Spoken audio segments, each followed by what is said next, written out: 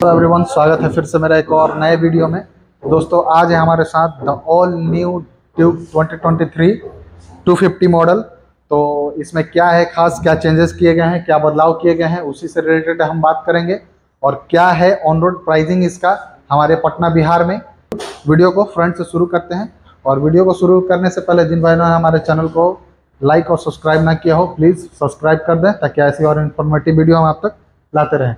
तो चलिए हम सबसे पहले बात कर लेते हैं इसकी प्राइसिंग की। तो सर, जो इसकी प्राइसिंग पड़ रहा है हमारे पटना बिहार में, दो लाख अठहत्तर हज़ार ऑन रोड और ये सिटीज़ वाइज वेरी कर सकता है आप प्राइसिंग और कोई भी आपको अपने स्टेट की प्राइसिंग चाहिए हो तो कमेंट कर दीजिएगा, मैं आपकी प्राइसिंग कमेंट में शेयर कर दूँगा। सबसे पहले बात कर लेते हैं हम इसकी बदलाव की। तो दोस्तों, जो बदलाव किए गए हैं टोटली न्यू बाइक अब इसको कर दिया गया है। इसकी डिज़ाइनिंग जो है, इसकी जो फ्रेम है, जो इसका सॉकर सस्पेंशन वगैरह है, सारे चीज़ में इसको बदलाव कर दिया गया है।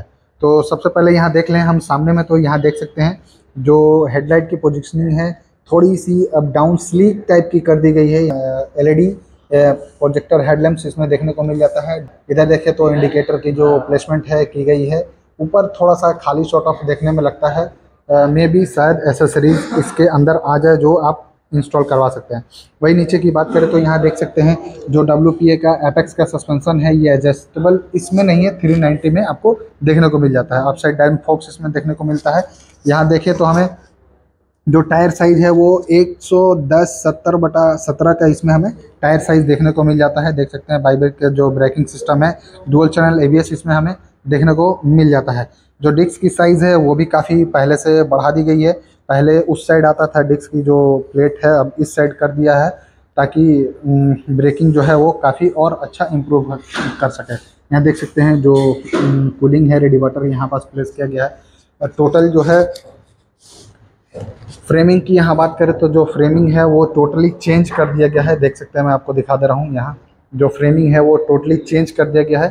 जो सॉकर है, इस पीछे में भी आपको देख सकते हैं W P X apex suspension इसमें थोड़ी सी इस साइड से प्लेस है राइट साइड हो करके यहाँ देख सकते हैं जो स्विंगाम है, उसकी भी प्लेसमेंट यहाँ की गई है, जो वो भी चेंज कर दिया गया है। पीछे भी डिस्क की साइज़ जो है, वो चेंज कर दी गई है ओवरऑल और ये जो पावर प्रोड्यूस करता है। 250 का अगर हम इसमें बात करें तो दो सीसी का इसमें हमें इंजन देखने को मिल जाता है, जो कि 31 पीएस का पावर जो है वो प्रोड्यूस करता है। 25 एनएम का टॉर्क इसमें हमें देखने को मिल जाता है।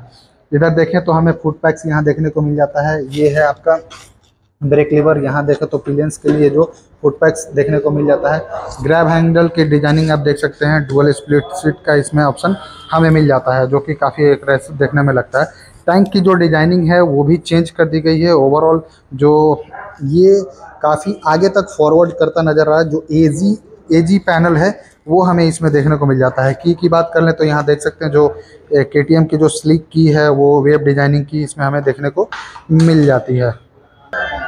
वही यहाँ देखें तो फिल फिलर कैप हमें देखने को मिल जाता है और ई e ट्वेंटी के सपोर्ट के साथ ये जो ट्वेंटी परसेंट इथनॉल अब इसमें देखने को हमें मिल जाएगा। ट्वेंटी परसेंट जो इथनॉल आएगा वो आप इसमें डाला, डालकर चला सकते हैं। जो फ्यूल कैपेसिटी है वो पंद्रह लीटर का इसमें हमें देखने को मिल जाता है। यहाँ देखें टी कंट्रोल जो आप देख सकते हैं फुल्ली डिजिटल मीटर जो ये हमें देखने को मिल जाएगा। कोई भी कलर ऑप्शन इसमें नहीं आता है। जो थ्री मॉडल लीजिएगा, उसमें आपको कलरफुल डिस्प्ले देखने को मिल जाएगा। काफ़ी इन्फॉर्मेशन इसमें हमें देखने को मिल जाता है। इस, इसके रिलेटेड हम आगे बात करेंगे। यहाँ देखें तो स्विचेस की क्वालिटी वो काफ़ी अच्छी कर दी गई है। पहले के मुताबिक ये चेंज हो गया है। यहाँ देखें, ये देखिए किल स्विच है, यहाँ सेल्फ स्टार्ट कर सकते हैं। और इधर देखें तो काफ़ी जो के जानी जाती है एज एज के मामले में एज जो डिज़ाइनिंग करती है, यहाँ जो एजी वगैरह जो स्विचेस है, वो भी हमें देखने को इसमें मिल जाता है। ये देख सकते हैं, यहाँ जो हज़ार लाइट की जो स्विच है, वो हमें देखने को मिल जाती है। यहाँ हॉर्न इंडिकेटर ये सारा मोड वगैरह सिलेक्शन करने का इसमें ऑप्शन हमें देखने को मिल जाता है। फिर वही अगर हम इस साइड पीछे की बात करें तो यहाँ देख सकते हैं जो टायर साइज़ है, वो 150 60 आर 17 इंच का इसमें हमें टायर साइज़ मिल जाता है। एमआरएफ का टायर साइज़ आपको देखने को मिल जाता है, जो कि काफ़ी अच्छा बात है। पीछे की देखें तो यहाँ देख सकते हैं जो नंबर प्लेट की जो जगह यहाँ दी गई है इंडिकेटर के प्लेसमेंट काफ़ी पीछे तक फॉरवर्ड करता हुआ है, जिसका जो मड गार्ड है वो चला रहा है। इस साइड देख सकते हैं। और पीछे बैकलाइट की अगर हम बात करें तो टोटल इसमें हमें बैकलाइट जो देखने को मिल जाता है फुल्ली एलईडी बैकलाइट इसमें आप देखने को मिल जाता है। मैं आपको जला करके दिखा देता हूँ। जला एक, एक बार फिर से ब्रेक लेना भाई एक बार। ये देखिए कितनी शानदार देखने में ये लगती है रात के समय में। थोड़ा सा टी सॉर्ट ऑफ़ डिज़ाइन इसमें देखने को मिल जाता है। वही अगर हम इंडियन रोड पे आप चल रहे हैं इंडिया में बाइक अगर लॉन्च किए तो कंपनी ने जो है वो साड़ी गार्ड भी इसमें हमें दे दिया है जो काफ़ी अच्छा बात है। इधर देखें जो शोकर है, मैंने बताया था ना, उस साइड की तरफ़ से थोड़ी सी प्लेस्ड है, इधर में आपको देखने को नहीं मिलता, उस साइड से क्लियर आप विजिबल कर सकते हैं।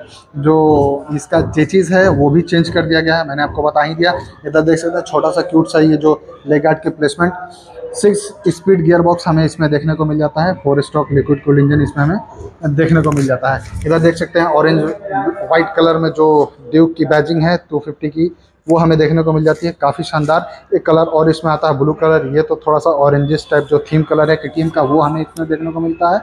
ब्लू वाला कलर काफ़ी शानदार देखने को मिल जाता है हमको।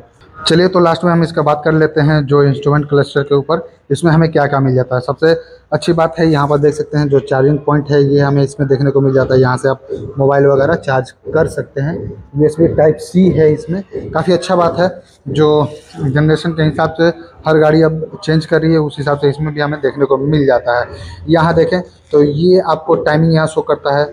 यहाँ आर मीटर हो गया स्पीडोमीटर हो गया जो रियर एवियस ऑन ऑफ़ भी कर सकते हैं फ्रंट को भी ऑन ऑफ़ कर सकते हैं। ये है लो दिखा रहा है इंजन टेम्परेचर वगैरह सेकंड दो किलोमीटर चल चुका है। वो टोटल यहाँ पास हमें देखने को मिल जाता है। तो न्यूट्रल के यहाँ पास पोजिशनिंग गियर इंडिकेटर पोजिशनिंग हमें देखने को मिल जाता है। इंजन चल रहा है न्यूट्रल ए इंजन मान फ़ंक्शन लाइट ये आपको ऑयल का जो है वो यहाँ शो कर देता है। ओवरऑल ये जो ब्लिंकर है, वो भी यहाँ दिया गया है, जो हाई आरपीएम पर आप राइड करेंगे तो वो हमें नज़र आ जाता है। और भी इसमें कई फीचर आता है, मैं आपको दिखा देता हूँ, यहाँ से आप देख सकते हैं। यहाँ से आप चेंज कर सकते हैं। साइड स्टैंड अभी शो कर रहा है। यहाँ बैक में फ्यूल रिज़र्व में है, वो देखने को मिल जाता है। यहाँ देख सकते हैं। टोटल जो फ़ंक्शन है, वो यहाँ से देख सकते हैं। फिर यहाँ अगर हम जाते हैं तो एबीएस को ऑन ऑफ़ कर सकते हैं। मतलब इंफॉर्मेशन के मामले में जो है, इस इस बाइक के सेगमेंट में अभी हमको लगता है कि कोई बाइक सेगमेंट इस सेगमेंट में नहीं दे रही है, जो जितना जो इसमें हमें फीचर्स मिल जाते हैं नेविगेशन ऑडियो प्लेयर इसमें मतलब काफ़ी सारा फीचर हमें देखने को मिल है। यहाँ तो ओवरऑल ये था इसका इंस्ट्रूमेंट क्लस्टर का डिटेल जितना भी मतलब मैंने जो भी मिस किया हो उसके लिए सॉरी काफ़ी इन्फॉर्मेशन इसमें हमें देखने को मिल जाता है। चलिए तो लास्ट में मैं आपको इसका एग्जॉस्ट का साउंड सुना कर दिखा, दिखा देता हूँ कि इसका एग्जॉस्ट नोट कैसा है। काफ़ी शानदार है। ये आइडल पोजिशनिंग साउंड आप सुन सकते हैं।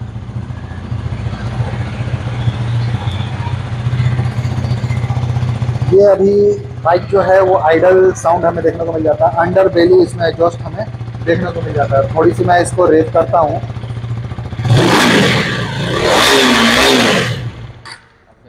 मतलब काफ़ी शानदार साउंड है दोस्तों। ओवरऑल ये है डिटेल रिव्यू इस बाइक के ऊपर।